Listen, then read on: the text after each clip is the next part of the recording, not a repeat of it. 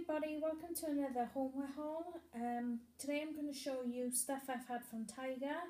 Uh, I've got quite a bit so I'm just going to get straight into it. These here are giant pins. Uh, there's 10 in a pack, uh, multicoloured, uh, and they are £1. The next thing I got are these sugar to put your sugars in on, on a table on a tray. But the reason I got two, because I thought they'd be quite uh, different uh, to have like nuts or dips or something like that on a table.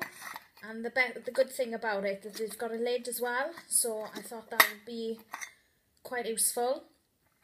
And they're stainless steel.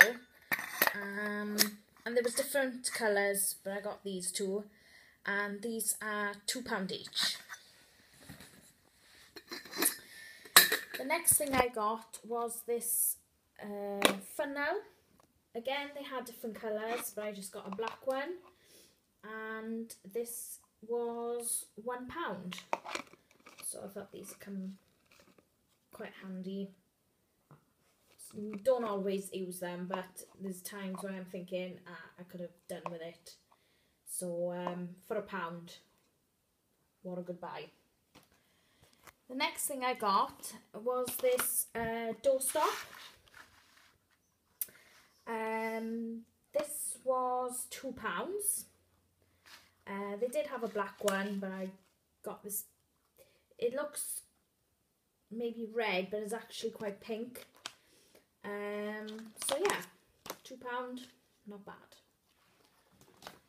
The next thing I got was this uh, basket, bathroom storage. Um, there's three hooks on the bottom, so I'm not sure what I'm going to put on there. Maybe the um, small face flannels or something.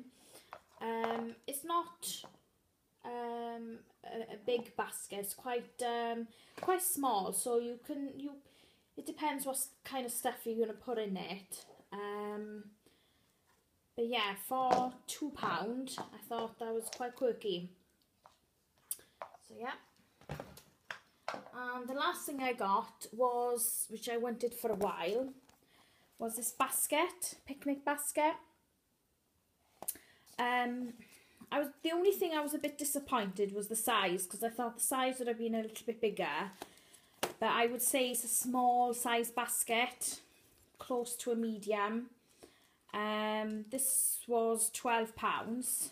They didn't have many left, so I wanted it before and I was hemming and hawing, but I did decide to get it.